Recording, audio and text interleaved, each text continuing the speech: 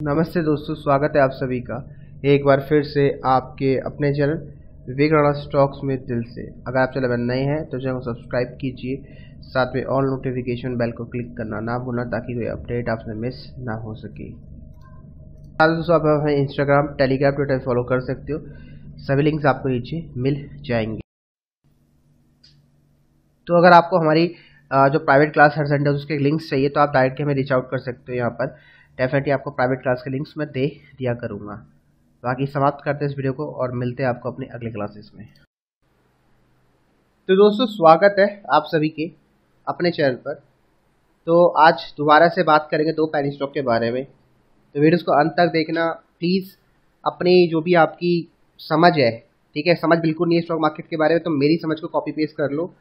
Stock market में पैनी stock में लॉस होता है, बड़े स्टॉक्स में भी होता है, ठीक है? आपको बस अपना लॉस को मैनेज करना आना चाहिए। अब लॉस मैनेज कैसे होता है, उसके लिए आपको अप्लाई करना है प्रथम रूल ठीक है? First rule of stock market loss इतना करो कि आप अगले मार्केट में बने रहो मतलब। आप मार्केट से आउट ना हो, क्योंकि ये टेस्ट मैच है। आपको इसको टी ट्वेंटी नहीं बनाना है कि भैया बीस ओवर खेल के आउट हो जाओ। नहीं। आपको ये टेस्ट मैच की तरह खेलना है। भैया जब तक चल रहा है, चलते जाए। जब तक चल रहा है, चलते जाए। ठीक है? तो यहाँ पर आपको अपनी कैपिटल सेव करनी है। और कैपिटल सेव करने का तरीका यही है। छोटे छोटे ट्रेड लो, छोटे छोटे क्वान्टिटी से देखो कि आपके लिए क्या चीज़ें काम कर रही है।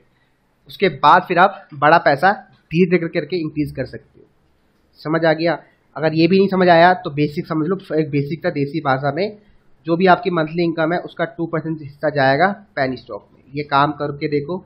आपको मज़ा आने वाला। अब ये पैनी स्टॉक है, ये आपको 97 पैसे में लगातार आपको मैं खुद कह रहा था बाय करो बाय करो। मेरे पास भी कुछ कुछ क्वांटिटी है, ठीक है, जितनी मेरी क्षमता है लॉस लेने की मैंने उसके हिसाब से डाला, ठीक है। अगर आपकी क्षमता सौ रुपये की हो, सौ रुपये डालो, घबराओ मत, शर्माओ मत, घबराओ घबराओ मत। बहुत लोग तो भैया दस रुपये भी स्टॉक मार्केट में नहीं डालते हैं, क्यों? वो बोलते यार, अभी मेरे पास ना सैलरी नहीं है इतनी, अभी मेरी अर्निंग नहीं है इतनी। लेकिन दस, बीस रुपये वो ऐसी उल्टा सीधा गुटके में, ठीक है स्मोक पे उड़ा देंगे। लेकिन उनके पास दस रुपये नहीं है स्टॉक मार्केट में डालने के लिए।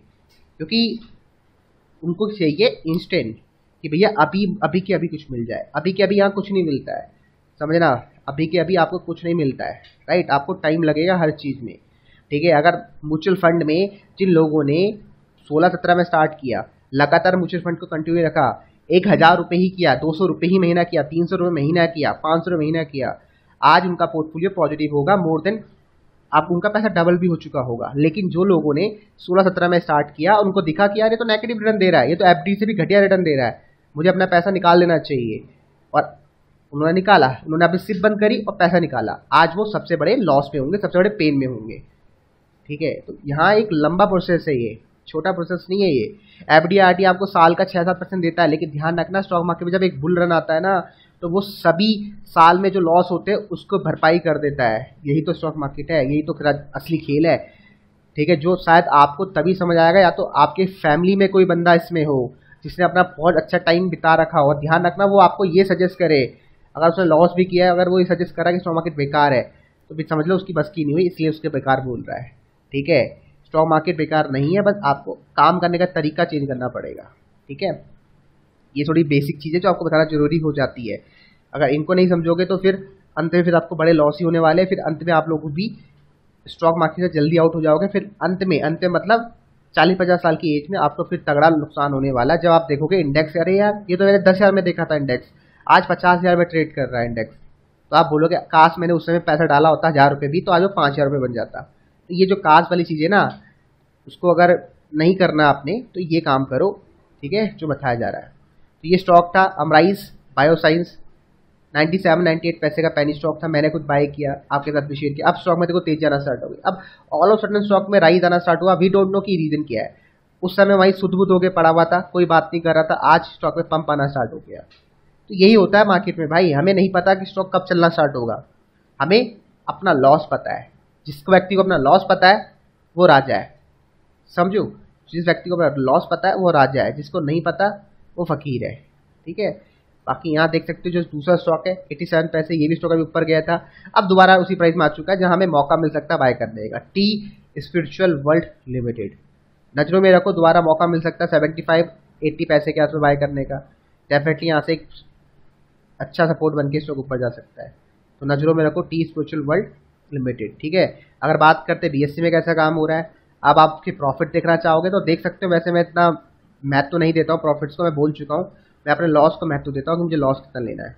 ठीक है? क्योंकि कुछ चीज़ें होती है जो शायद हमारे कंट्रोल में भी नहीं है। खासकर पैनी स्टॉक में, क्योंकि प्रॉफिट तो हमारे कंट्रोल में है ही नहीं इसके। ठीक है? ये सब प्रमोटर्स के कंट्रोल में हमारे कंट्रोल में सिर्फ़ क्या है? अपने लॉस को को तय करना। वो हमारे कंट्रोल में है बस। वो मैं अच्छे तरीके से करता हूँ और आपको मैं बता चुका हूँ कि आपको कैसे करना चाहिए। ठीक है?